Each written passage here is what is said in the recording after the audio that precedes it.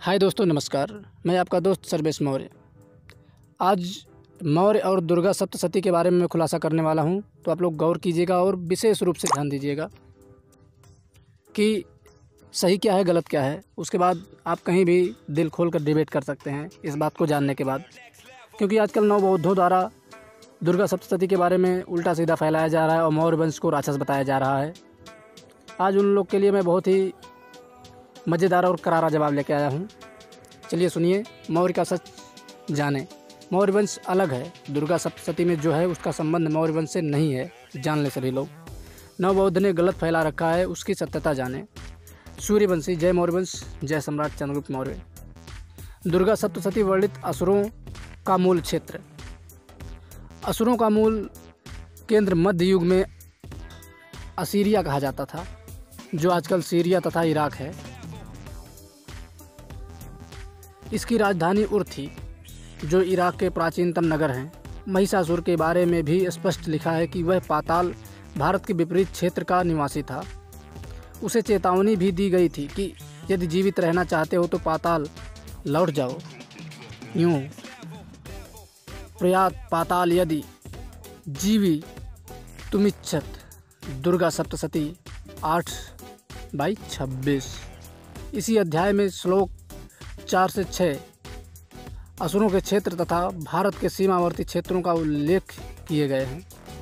अब विवेचना करते हैं दुर्गा सप्तदशी के मौर्य शब्द के बारे में।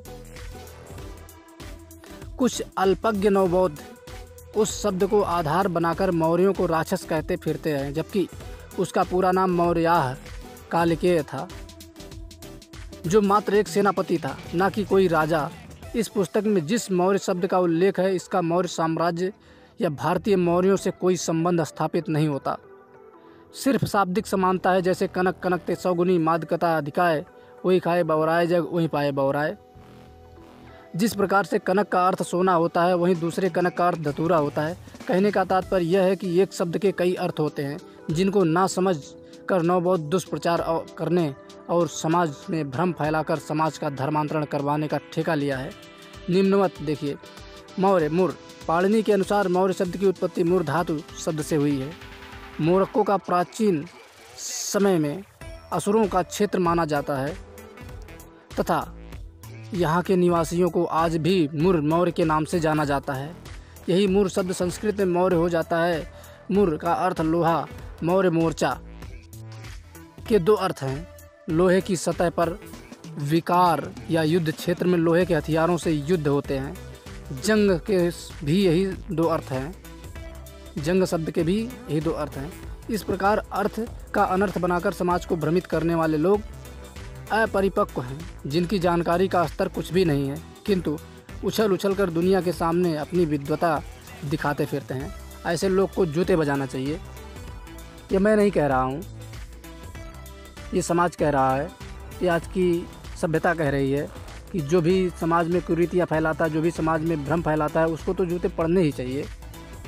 चाहे कोई भी रहे, उसको समाज से बहिष्कृत करना ही चाहिए।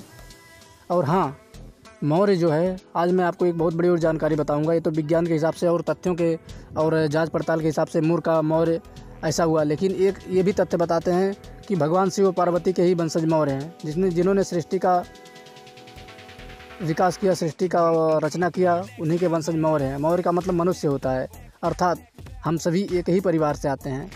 एक पिता के कई पुत्र होते हैं तो उसके नाम से कोई ब्राह्मण, कोई क्षत्रिय, कोई वैश्य, कोई शूद्र हो गया। हालाँकि सब मौर्य वंश हैं, सर्वश्रेष्ठ सबका वर्ण है। लेकिन अपने कर्मियों के अनुसार सब अपने अपने वर्ण व्यवस्था में पड़े हुए हैं। और कुछ ब्राह्मण तथा कथित मौर्य को शूद्र कहते हैं तो सावधान हो जाएँ। उनको भी इसका जवाब देना पड़ेगा कि आखिर शूद्र कहने का दुस्साहस कहाँ से किए? अरे उन्नीस सौ सत्तावन में कुछ लोग जो है कि मौर्य टाइटल अपना लिए, उसका मतलब ये थोड़ी है कि मौर्य वंश को आप शूद्र कहोगे। मौर्य ऐसा ताकतवर चीज़ है जिसको हर कोई अपनाना चाहता है। बत्तीस भाषाओं का ज्ञाता व्यक्ति अपने समाज को आगे बढ़ाने के लिए केवल मौर्य वंश का चुनाव क्यों किया? ये भी अपने आप में बहुत ही महत्वपूर्ण प्रश्नवाचक चिन्ह है और बहुत ही मायने रखता है ये प्रश्न। कि आखिर बत्तीस भाषाओं का ज्ञाता अपने समाज को आगे बढ़ाने के लिए केवल मौर्य वंश को क्यों चुना और किसी वंश को क्यों नहीं चुना? तो वही बात है मित्रों समझ समझ की फेर है और कुछ नहीं। सब बाप बनना चाहते हैं, सब अपने आप को भगवान बनना चाहते हैं, सब अपने आप को श्रेष्ठ साबित करना चाहते हैं। इसी में समाज का बंटाधार हो रहा है, चाहे वो कोई भी हो। और ऐसे ही अगर चलता रहा, एक दिन विध्वंस हो जाएगा। सब समाज समाज ही रह जाएगा, कोई समाज एकत्रित नहीं कर पाएगा। अभी भी समय संभल जाओ। और एक दूसरे का पूरक बन के काम करो। मित्रों, मैं धमकी नहीं दे रहा हूँ, एक सुझाव दे रहा हूँ। चेतावनी भी नहीं दे रहा हूँ मैं, एक सुझाव परामर्श दे रहा हूँ, जिसको आप मार्गदर्शक भी कह सकते हो। चलिए मित्रों, ठीक है, आप लोगों ने ध्यानपूर्वक सुना, इसके लिए बहुत बहुत धन्यवाद। और और ऐसे ही जानकारी मैं आप लोग के सामने प्रस्तुत करते रहूँगा। और चाणक्य जी पर भी खुलासा करने वाला हूँ मैं। वो ब्राह्मण थे या मौर्य थे, उस पर बहुत बड़ा तथ्य, बहुत बड़ा प्रश्न मैं खड़ा करने वाला हूँ, जो कि आप लोग तैयार रहिए उसका उत्तर देने के लिए। धन्यवाद। जय मौर्यवंश जय हिंद। वंदे मातरम। जय श्री राम। जय महाकाल। नमो बुद्धाय। जय श्री कृष्णा। जय मौर्यवंश जय अखंड भारतवर्ष। जय नारी शक्ति। जय भारत की धरती।